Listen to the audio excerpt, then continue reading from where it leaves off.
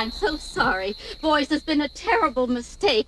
Uh, uh, Howie is going to say something to you, aren't you, Howie? I'm going to get you out of this as quickly as possible. Howie, now say, come on now, say your little I'm sorry I took the money. That's it. I'm sorry I took the money.